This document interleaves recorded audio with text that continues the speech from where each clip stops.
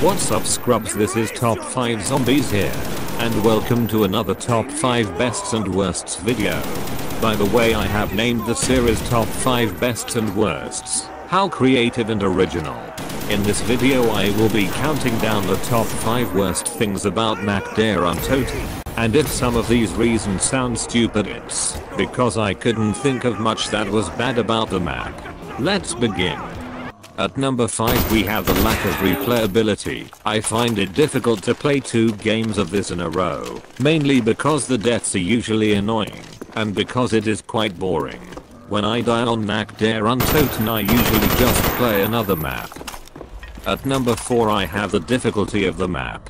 I know I said that was a good thing in the previous video, but I feel that this is too much. It is nice a lot of the time as a challenge, but sometimes it is just irritating.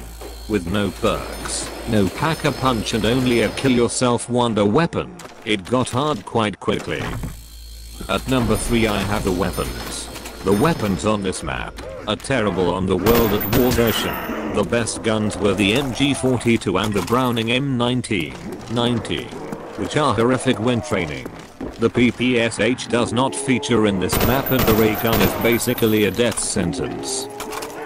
Speaking of the ray gun, at number 2 I have the ray gun in this map. If you shot the ray gun on the floor anywhere near you, you would die straight away. It is actually worse than a rocket launcher.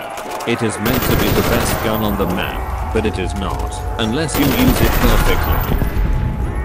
At number 1, I have the boringness of it. Nacht Der Untoten is one of the most boring maps. In Call of Duty Zombies history there is nothing to do, no easter egg, nothing. I said I loved the simplicity but this is really bad. Thanks for watching. I will be catching up with this series over the next few days. Remember to like, comment and subscribe. Hope you enjoy. yeah,